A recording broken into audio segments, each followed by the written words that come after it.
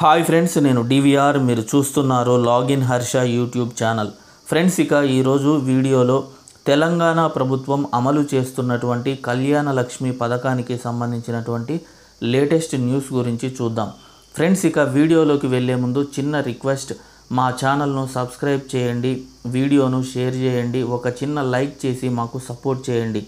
Friends ఇక వివరాల్లోకి వెళ్ళినట్లయితే కళ్యాణ లక్ష్మి అమలుకు తెలంగాణ ప్రభుత్వం రెండు వందలు పాయింట్ రెండు మూడు కోట్ల నిధులను విడుదల చేయడం జరిగింది. ఈ నిధులను ఎస్సీ అభివృద్ధి శాఖ ద్వారా చెల్లించటం అనేది జరుగుతుంది.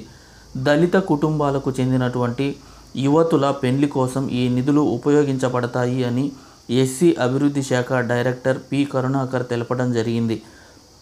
అన్ని జిల్లాలకు సంబంధించినటువంటి ఆర్డీఓలను అదేవిధంగా ఎస్సీ అభివృద్ధి శాఖ అధికారులను ఆదేశించడం జరిగింది. ఈ సంవత్సరం కళ్యాణలక్ష్మి పథకం కోసం దాదాపుగా పదివేల మంది దరఖాస్తు చేసుకున్నారని వీరిలో అర్హులైనటువంటి వారందరికీ కూడా కళ్యాణలక్ష్మి డబ్బులు అందజేస్తామని తెలిపారు. కళ్యాణలక్ష్మి పథకం కింద అర్హులైనటువంటి వారికి లక్ష నూట పదహారు రూపాయలు అందజేయడం జరుగుతుంది అని తెలపడం జరిగింది. ఓకే ఫ్రెండ్స్ ఇది కళ్యాణలక్ష్మి పథకానికి సంబంధించినటువంటి సమాచారం.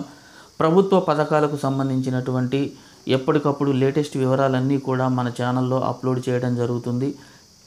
ఓకే ఫ్రెండ్స్ ఇది కళ్యాణ లక్ష్మికి సంబంధించి మరొక వీడియోతో మళ్ళీ కలుద్దాం. Thank you.